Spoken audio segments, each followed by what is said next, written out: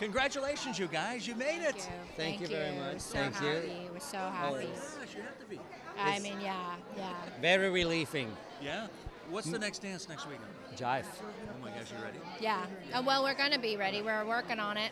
It's it's like our team. Vencho is a piece of work, a piece of art, and we're going to create a piece of art next week. I like It's all dance. Yes, yes, yes. You guys took some risks last night.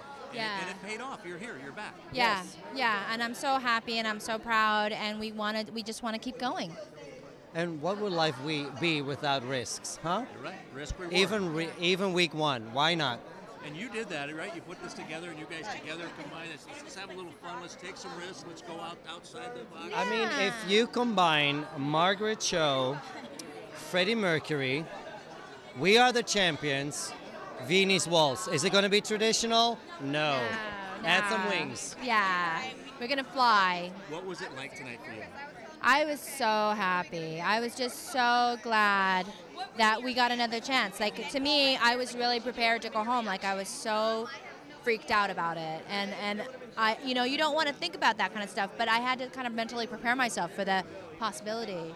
But the fact that we got, we got, we got to, we know so early on that, you know, That's we a gift. safe. Big- That's- Don't get used to it. That's incredible. That was incredible. It was. It was just so. It was like, wow, these guys are safe. They're coming back. That's Yeah. awesome. That means you, you touched a nerve with America.